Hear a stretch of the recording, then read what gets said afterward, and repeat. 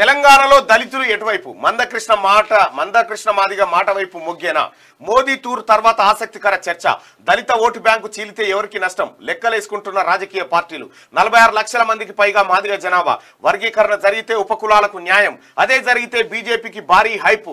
తెలంగాణ రాజకీయాల్లో కీలక మార్పులు దక్షిణ భారతదేశంలో పుంజుకునేందుకు బీజేపీ ప్లాన్. తీరనున్న మూడు దశాబ్దాల వర్గీకరణ కళ ఇదే జరిగితే అసలు ఏం జరుగుతుంది?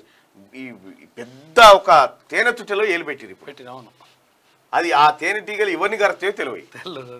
ఇప్పుడు పెండలు రాయిచ్చి ఆ ఆనికి జిల్లే ఈనికి జిల్లే ఈనికి జిల్లే తెలంగాణ రాజకీయాల్లో కీలక మార్పు చోటు చేసుకోబోతుంది. ప్రధాని మోడీ విశ్వరూప మహాసభ టూర్ తర్వాత తెలంగాణలో ఆసక్తికర చర్చ మొదలైంది. మూడు దశాబ్దాల ఎస్సీ వర్గీకరణ అంశాన్ని తేల్చేందుకు బీజేపీ సిద్ధమైందా?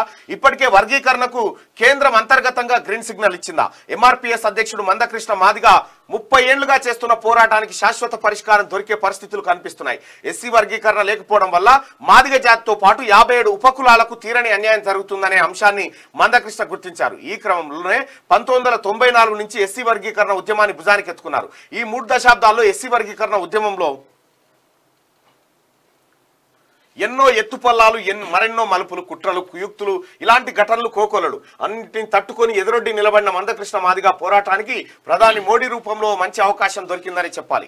రాజకీయంగా దక్షిణ భారతదేశంలో బీజేపీ చాలా వీక్గా ఉంది. కేవలం ఉత్తర భారతదేశంలో మాత్రమే పలు రాష్ట్రాల్లో బీజేపీ అధికారంలో ఉంది. ఈ క్రమంలోనే బీజేపీ రానున్న రోజుల్లో రాజకీయంగా దక్షిణ భారతదేశంలో పుంజుకునేందుకు పక్కా ప్రణాళిక అని చెప్పొచ్చు. ఇదిలా ఉంటే ఎస్సీ వర్గీకరణ జరిగితే ఏ పార్టీకి నష్టం ఏ పార్టీకి లాభం అనే చర్చకు తెలంగాణ వ్యాప్తంగా తెరలేసింది తెలంగాణలో ఇతర పార్టీల ఓటు బ్యాంకు గల్లంతు. బీజేపీ ఎస్సీ వర్గీకరణ బిల్లును పార్లమెంట్లో ఆమోదింపజేస్తే దక్షిణ భారతదేశంతో పాటు తెలంగాణలోనూ రాజకీయ పరిస్థితులు శరవేగంగా మారిపోనున్నాయి. తెలంగాణలో ప్రధానంగా నలభై ఆరు లక్షల మంది మాదిగ జనాభాతో పాటు యాభై ఏడు ఎస్సీ ఉపకులాల జనాభా అధికంగానే ఉన్నారు. అయితే ఎస్సీ వర్గీకరణ బిల్లును ఆమోదింపజేస్తే బీజేపీకి అండగా నిలుద్దామని మందకృష్ణ మాదిగ పరేడ్ గ్రౌండ్లో విశ్వరూప సభ వేదికగా అడిగారు. నిజంగా ఎస్సీ వర్గీకరణ బిల్లు పాస్ అయితే దళిత ఓటు బ్యాంక్ చీరడం ఖాయమనే చెప్పాలి. అందులో మాదిగ సామాజిక వర్గ జనాభాతో పాటు యాభై ఏడు ఉపకులాలకు చెందిన ఓటు బ్యాంకు క్రమంగా కాంగ్రెస్ పార్టీ నుంచి బీజేపీ వైపునకు వెళ్ళే మళ్ళీ అవకాశం లేకపోలేదు. ప్రధానంగా బీఆర్ఎస్ పార్టీ దళితులకు తాము చేసినంత మేలు ఎవరు చేయలేదంటూ కేసీఆర్ గప్పాలు కొడుతున్న సంగతి తెలిసింది. అయితే ఎస్సీ వర్గీకరణ విషయానికి వస్తే మాత్రం ఎస్ కేసీఆర్ ఎస్సీ వర్గీకరణ బిల్లు పెట్టాలంటూ తీర్మానం చేసి పంపుతామంటూ కాలం వెల్లదీస్తున్నారు. ఈ దెబ్బతో బీఆర్ఎస్కు దళిత ఓటు బ్యాంక్ దూరం కాను కానుందనడంలో సందేహం లేదు. దీనికి తోడు ఇన్నాళ్ళు ఎస్సీ ఓటు బ్యాంకునే ప్రధాన అస్త్రంగా చెప్పుకుంటూ వస్తున్న బీఎస్పీ డిఎస్పీ తదితర పార్టీలు తమ ఉనికిని కోల్పోయే ప్రమాదం లేకపోలేదు. ముప్పై ఏళ్ళు వర్గీకరణ ఉద్యమ ప్రస్థానం ఇది. ఎస్సీలను ఏబి ఏబిసిడి గ్రూపులుగా వర్గీకరించాలనే డిమాండ్తో పంతొమ్మిది వందల తొంభై నాలుగులో ఆంధ్రప్రదేశ్లోని ప్రకాశం జిల్లా ఈదుమూడి గ్రామంలో ఉద్యమం మొదలైంది. వర్గీకరణ ఉద్యమం ఐదారేళ్ళలోనే రాష్ట్రమంతా విస్తరించింది. ఈ ఉద్యమానికి నాయకత్వం వహించిన ఎంఆర్పీఎస్ అధ్యక్షుడు మందకృష్ణ మాదిగా ఇప్పటికీ వర్గీకరణ కోసం పట్టుబడుతున్నారు. రాష్ట్ర విభజనతో పాటు చట్టపరమైన న్యాయపరమైన సాంకేతిక పరమైన అనేక పరిణామాల వల్ల ఈ అంశం ఈనాటికి ఎటూ తేలలేదు. ఎస్సీలకు మొత్తం పదిహేను శాతం రిజర్వేషన్ కోటా ఉంది. అయితే ఈ కోటాలో మాలలే ఎక్కువగా లబ్ధి పొందుతున్నారనే చర్చ నిజానికి పంతొమ్మిది వందల దశకంలోనే మొదలైంది. జనాభా పరంగా మాలల కన్నా మాదిగల సంఖ్య ఎక్కువగా ఉన్నప్పటికీ విద్యా ఉద్యోగ అవకాశాల్లో మాదిగలు చాలా తక్కువ స్థాయిలో ఉన్నారని పంతొమ్మిది వందల తొంభై ఆరులో జస్టిస్ రామచంద్రరాజు కమిషన్ తేల్చింది. మందకృష్ణ మాదిగ చెప్పిన లెక్కల ప్రకారం రిజర్వేషన్ ద్వారా ఎస్సీలకు లభించిన ఉద్యోగాల్లో ఎనభై శాతం మాలలకు దాని ఉపకులాల వారికి దక్కగా మాదిగ జనాభాతో పాటు దాని ఉపకులాలకు దక్కింది కేవలం ఇరవై శాతమే. ఇక ఈ నేపథ్యంలోనే ఎస్సీ కులాలను ఏబిసిడి గ్రూపులుగా విభజించి ఆయా కులాల జనాభా నిష్పత్తి ప్రకారం పదిహేను శాతం ఎస్సీ రిజర్వేషన్ కోటాను పెంచాలనే డిమాండ్తో మందకృష్ణ మాదిగా ముందుకు తీసుకొచ్చారు. తాజాగా ప్రధాని మోడీ ఎస్సీ వర్గీకరణ బిల్లుకు సుముఖత వ్యక్తం చేయడంతో ఎస్సీ కులాల్లో ఆనందం వెల్లువిరుస్తుంది. దక్షిణ భారతదేశంపై వర్గీకరణ ప్రభావం ఉండబోతా ఉంది. ఎస్సీ వర్గీకరణ అంశం తేలితే దక్షిణ భారతదేశంలోని కీలక రాష్ట్రాలపై ఆ ప్రభావం పడనుంది. నిజానికి బీజేపీకి ఉత్తర భారతదేశంలో ఉన్నంత పట్టు దక్షిణ భారతదేశంలో లేదు. అయితే దక్షిణ భారతంలోని కర్ణాటక తెలంగాణ ఆంధ్రప్రదేశ్ కేరళ తదితర రాష్ట్రాల్లో ఎస్సీలోని మాదిగ జనాభాలో యా తో పాటు యాభై ఏడు ఉపకులాల జనాభా అధికంగా ఉంది. ఉత్తర భారతంలో మాత్రం మాలల జనాభా ఎక్కువ. అయితే ఎస్సీ వర్గీకరణ చేస్తే దక్షిణ భారతదేశంలో బీజేపీకి భారీ హైప్ రావడంతో పాటు దళిత ఓటు బ్యాంక్ చేరువవుతుంది. ఫలితంగా కాంగ్రెస్ పార్టీకి చెక్ పెట్టాలని బీజేపీ అధిష్టానం భావిస్తున్నట్టుంది. నిజానికి మోడీ ప్రభుత్వం ఇప్పటి వరకు పలు వివాదాస్పద నిర్ణయాలను సాహసోపేతంగా తీసుకుందనడంలో సందేహం లేదు.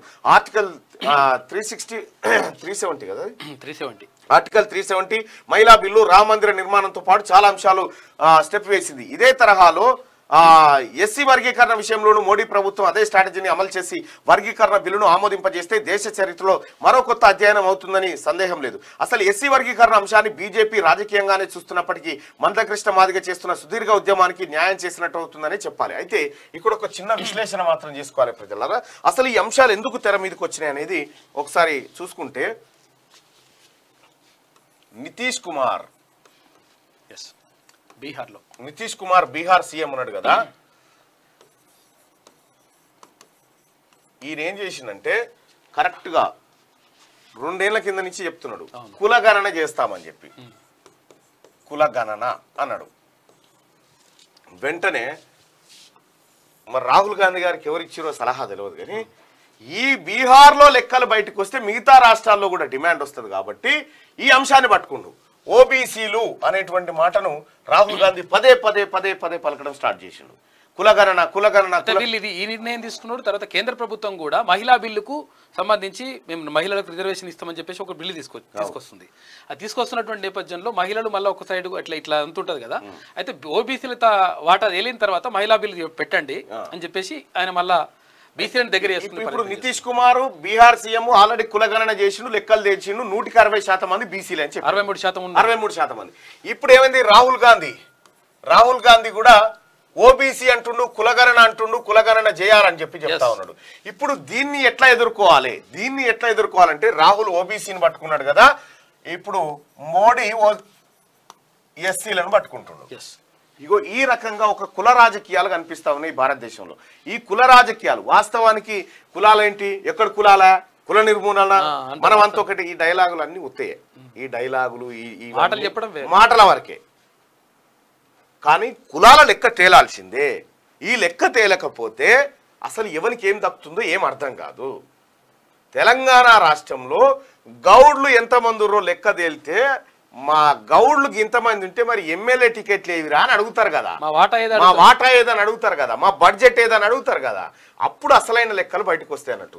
అయితే కేసీఆర్ అనేటువంటి వ్యక్తి సమగ్ర కుటుంబ సర్వే అని ఒకటి చేసి ఆ ఏం చేసిన కులగణన చేసి రెడీగా వేల బయటికి తీస్తలేడు బయటికి తీస్తలేడు అది. ఎందుకు తీస్తలేడు? తీస్తే అగో మేమెక్కుంటే నువ్వెట్లా ముఖ్యమంత్రి అవుతావని అంటారు కదా. అందుకోసం తీస్తలేడు. అయితే ఇప్పుడు కులాలు అనేటువంటి అంశాన్ని వీళ్ళు పట్టుకొని వస్తా ఉన్నారు. మీరు చూడండి. ఈ కులాలు అనేటువంటి అంశాల మీద రాబోతున్నటువంటి ఎన్నికలు జరగబోతా ఉన్నాయి. రెండు వేల ఇరవై నాలుగు పార్లమెంట్ ఎన్నికలు ఈ కులాల మీదనే జరగబోతా ఉన్నాయి. ఇది ఇక్కడ చేసిరని ఇది పసిగట్టి రాహుల్ గాంధీ ఓబీసీ కులగణన అనేటువంటి చర్చ. అక్కడ ఈ ఈ ప్రమాదాన్ని గమనించి ఎక్కడెక్కడైతే కులాలకు సంబంధించిన ఇష్యూస్ పెండింగ్ ఉన్నాయో ఆ ఇష్యూస్ పైన మోడీ దిగిండు. సో ఇది జరుగుతా ఉంది దేశవ్యాప్తంగా.